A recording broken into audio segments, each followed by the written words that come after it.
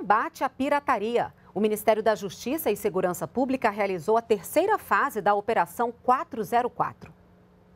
Foram cumpridos 11 mandados de busca e apreensão em nove estados: Rondônia, Pará, Maranhão, Mato Grosso, Mato Grosso do Sul, Pernambuco, Espírito Santo, São Paulo e Rio Grande do Sul.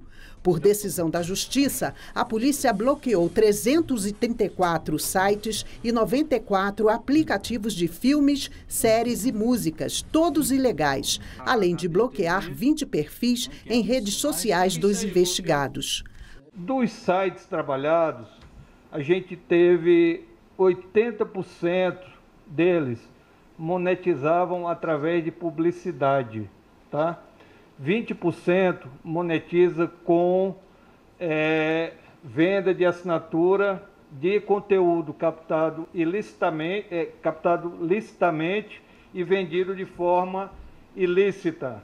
As buscas foram coordenadas pelo Ministério da Justiça e Segurança Pública e contaram com o apoio das embaixadas dos Estados Unidos e do Reino Unido. De acordo com dados divulgados pelo secretário de Operações Integradas, o Brasil ocupa o quarto lugar em consumo e visitação de sites que distribuem conteúdos piratas. Uma violação aos direitos autorais e o montante do prejuízo por ano é grande que dados da ABTA, da Anatel, do próprio IBGA estimam um prejuízo estimado de 15 bilhões de reais.